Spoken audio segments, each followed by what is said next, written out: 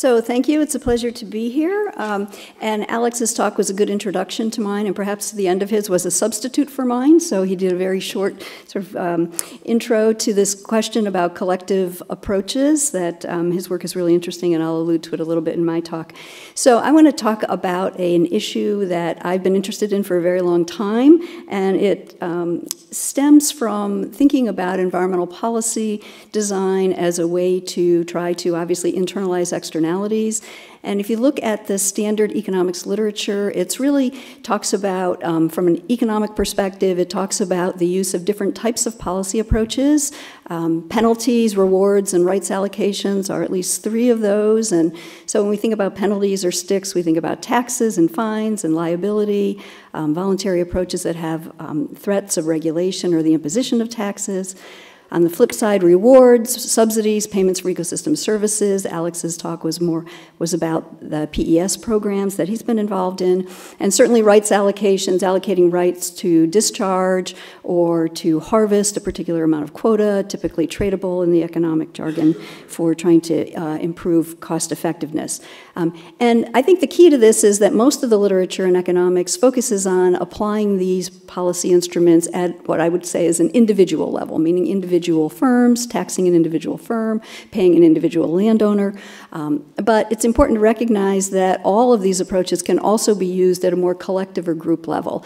And just to be clear what we mean by a group in this context, um, it could be a group of landowners, it could be a group of farmers, it could be a group of fisher fishers, um, vessel owners. It could be a group of firms or an entire industry. It could be a cooperative that's been formed or even a community. So when I talk about group, the idea is simply that it's a collection of individuals or, or firms of, of some sort. And so when I say that the um, policies could be applied collectively, rewards and penalties could, for example, be based on group performance rather than individual performance, and rights could be allocated to the group as opposed to um, an individual. And there are lots and lots of examples of these. The, the context that I first got interested in this um, topic was in the context of agricultural non-point pollution, um, where you have a situation where you may be able to observe, say, ambient water quality, and that's a measure of, in some sense, group performance for a group of farmers, and base a policy on that measure of group performance, an ambient tax, an ambient subsidy type of approach.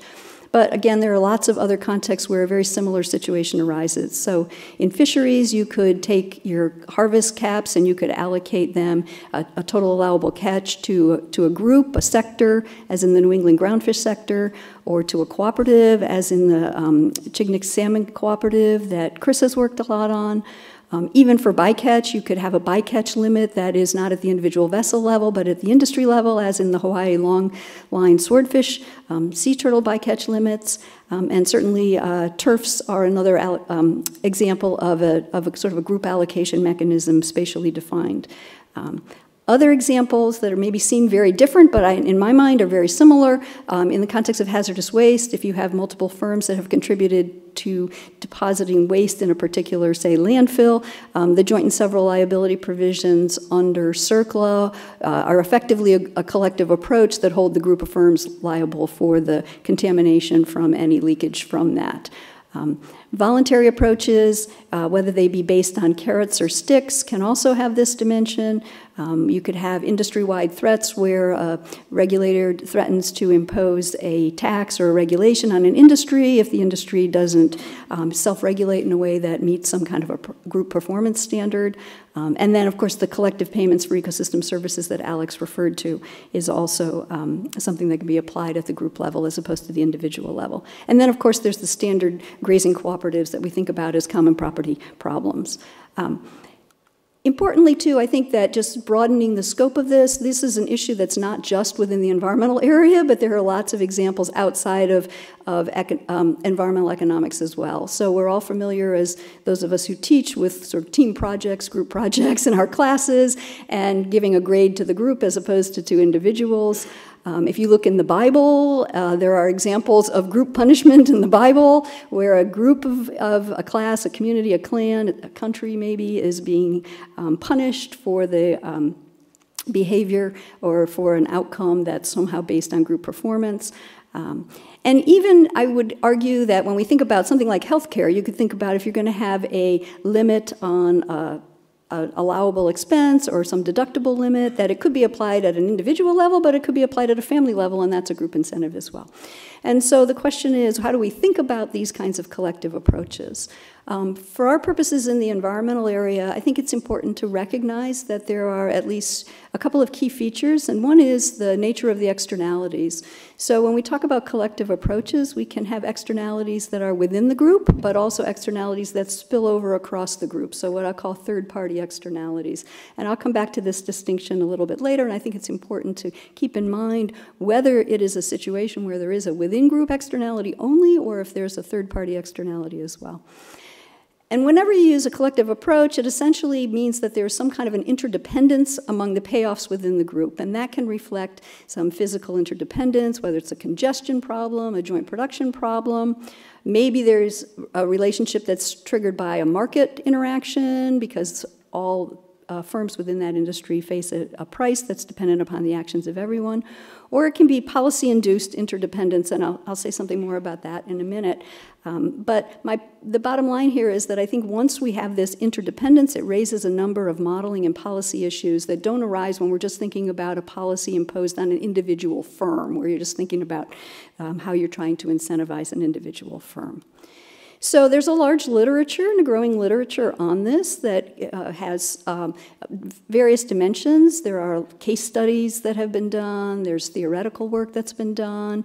Alex referred to some of his work that's more um, experimental, lab or field experiments, um, quasi-experimental work, less on that, but some on that recently that's tried to look at whether or not some collective approaches have actually been effective in trying to um, improve environmental performance. Much of the literature is very context specific, and by that I mean that, for instance, the literature on agricultural non-point pollution is separate from the literature on hazardous waste management, is separate from the literature on fisheries, et cetera. Yet I would argue that there's a common thread here and that we would learn something by integrating these various um, context under a single kind of framework. So I'm not going to go through this in detail because these are things Alex alluded to and I think are relatively well known. Um, what are the reasons that you might want to use a collective approach? Well, one clearly has to do with monitoring and observability. You only need to observe group performance. You don't need to observe individual performance. And it may be that you literally can't observe individual performance, so you really don't have a choice, or that it's simply hard to do that, costly to do that, and so you might find that there are some uh, cost advantages in terms of reduced transactions costs from observing at the group level rather than the individual level. And then there are other possible advantages that people have um, suggested. Um, some of the work that um, has been done on social norms and social pressure, pressure that um, Katrina has done, that is um, also a context where you might say when you put that kind of a collective incentive in place, then it creates an incentive for this internal kind of monitoring or, or um, uh, pressure, if you will. There may be opportunities to stabilize income depending upon whether you're trying to share revenue, share costs, share profits. So if there's some stochasticity in the returns or in the costs, then it may be that you can reduce some of that variability by collectively um, pooling your, your revenue, your cost, your profits. Um, risk pooling is another opportunity. For instance, in the context of bycatch, there have been uh, interest in if you're worried about exceeding your limit, then maybe if you share your, the limit with a group, then you're less likely, perhaps, although actually it turns out that's not quite true. But you might think that you're less likely to exceed your limit if you pool your risks. Um, information sharing, economies of scale, um, are also important. And in the context of hazardous waste, actually a big problem has been what's called the judgment proof problem, where if you're going to hold someone liable for contamination and you have one party that may not have the resources to be able to cover the expenses, then having a group approach might ensure that there are some, there's someone within the group that has the, the deep pockets that allow you to actually compensate. But of course, there are disadvantages, as um, Alex also mentioned. So, free riding, the potential for free riding, of course, depends upon the um, way in which the incentive structure is um, set up. Um, whether you're sharing profits, you're sharing revenue, you're sharing costs, it's certainly possible to design these mechanisms to eliminate free riding. And I think that's an important point that comes out of the theoretical literature on collective approaches that it is possible to design them in a way that addresses or um, eliminates uh, potentially the free riding incentive incentive. But adverse selection, if you have voluntary participation, then you may have people opting in or opting out in a way that's um, counterproductive. Um, some coordination failures because you're not sure how other people in the group might behave. And then there, of course, is the fairness issue. And it's kind of the flip side of what Alex mentioned. Um, here, I think the concern might be punishing the innocent if I'm not the one who was uh, responsible for the bad behavior and yet I'm part of the group that is, that is punished. Um, so in my mind, what I've been interested in, uh, as I said, are thinking about whether or not there is a unifying modeling framework that one can think about that cuts across these contexts that might be useful in terms of trying to identify the um, conditions under which these kinds of approaches might be effective or might not be effective. So, so the modeling question in my mind or of interest to me is whether there's a unifying model or framework that we can use across these contexts, and that of course is tied to the policy question about the implications of using a collective approach, when would you expect them to work, when not, and if both are possible, if you had the choice between the two, would you be better off allocating rights individually or collectively? So, for, for example, in a fisheries context, you could allocate quota in the form of an ITQ individually to vessels, or you could do it allocate a, a TAC, total allowable catch, to a group of fishers, and then the question is if you had the choice, which one would you, uh, should you choose? So I don't know what the answer is to whether there's a common structure, but I'm trying to think about that question. And so my first cut at thinking about that question, and this is the only equation in my presentation, but it essentially tries to, I think, first highlight a couple of things. And one is that when we think about total expected social welfare, uh, in this context, it's a combination of two things. It's a combination of within the group welfare and outside of the group welfare. Um, and so this allows for the potential that you could have actions of individuals within the group, so I call those here, you know, XIXJ, that are affecting the welfare of individuals within the group. So in some sense, this is within group externalities. But then those same actions could have spillover effects outside of the group, and so you have the uh, outside the group impact as well. And of course, the social welfare depends upon the combination of the two. And in this context, I think it's also important to recognize the role of uncertainty um, some kind of randomness, because that can also play an important role in terms of the incentive effects of different types of mechanisms that you might design. So it's important to include some kind of randomness in, say, the, the um, performance of individuals and how that combines to impact the overall performance of the group.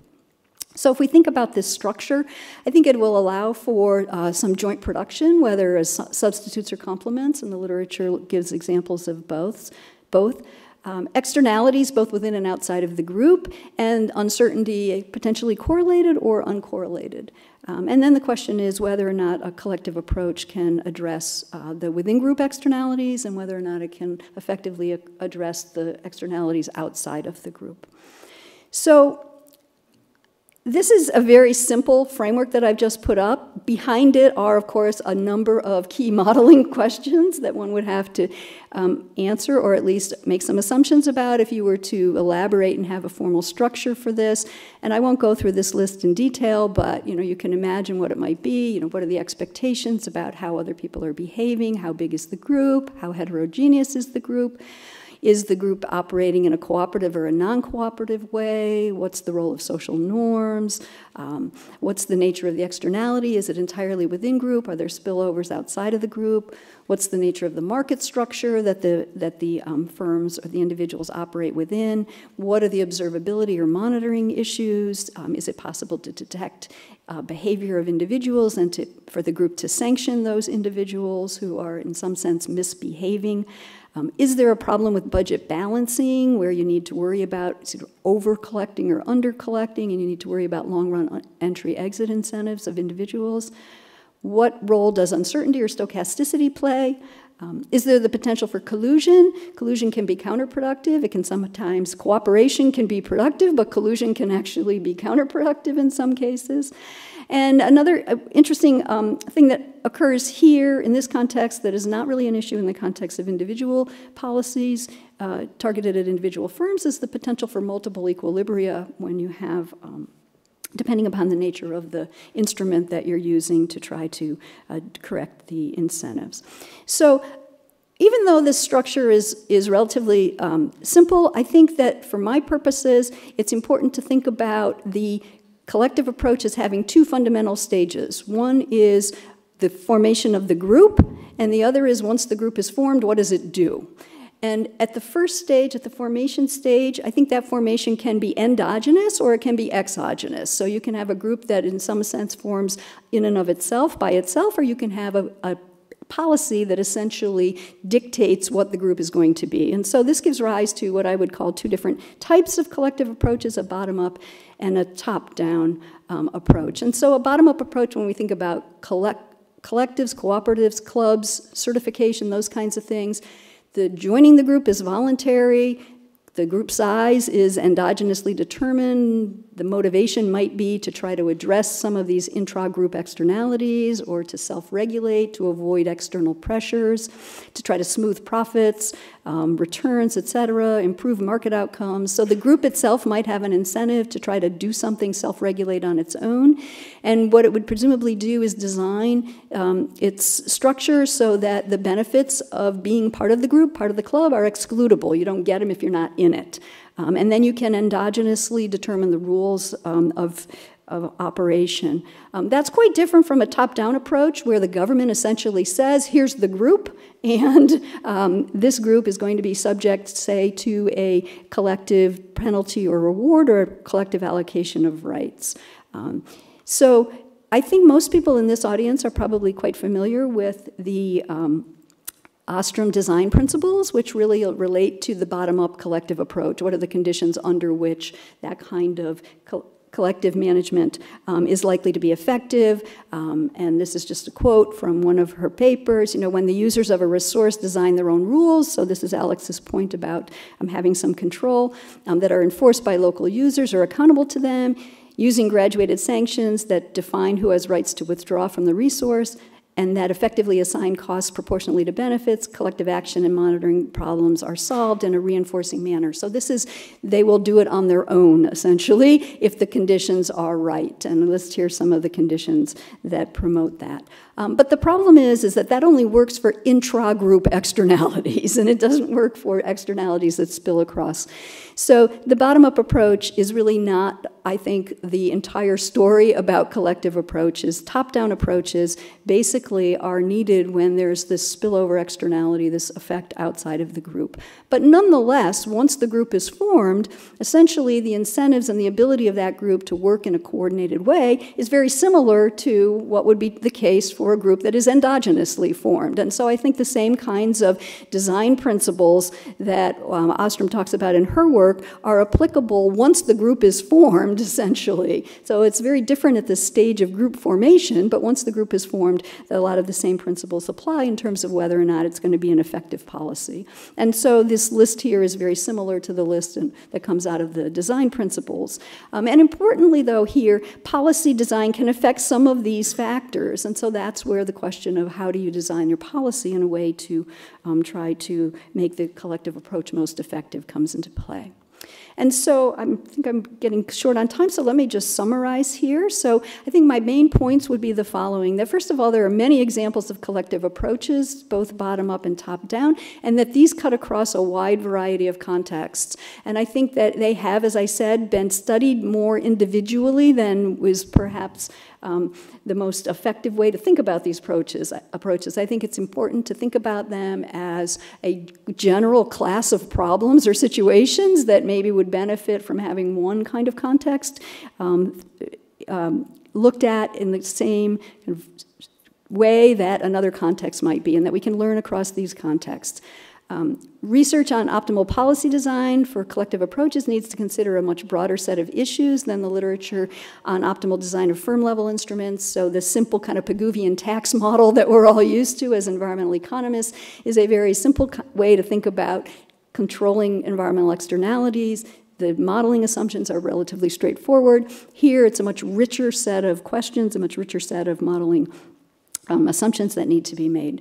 Um, what does the work tell us? It tells us essentially that for collective approaches to work, there needs to be some strong gain from cooperation, obviously, some incentive to cooperate, and that that can be um, driven internally, leading to a bottom-up approach, if there is some reason for the group to want to solve its problem um, endogenously, um, but it could also be created by uh, the result of a policy that essentially has, gives a top-down approach by creating a group and assigning a group reward or penalty or a set of rights to that collective.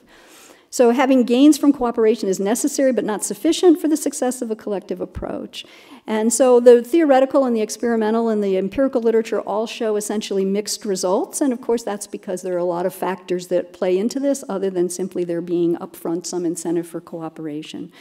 But you know, if properly designed, collective approaches can be effective in limiting free riding and meeting collective targets. So I think there is um, a great potential for the use of these kinds of approaches, obviously not without limitations, but there is potential there, but part of it is how do we design them so that we increase the likelihood of success. And so some of the factors that have been identified are things that we need to um, think about and consider, um, whether it's the size of the group, the whether the behavior within the group will be cooperative or non. Multiple equilibria is a big issue, I think, in this context, and particularly when there's a need for coordination. Um, the potential for communication, um, whether there are direct payments or um, penalties, and of course the ability to address the free rider problem through some kind of, uh, within the group at least, observing um, behavior that is non-compliant and having some means for sanctioning that. So, thank you.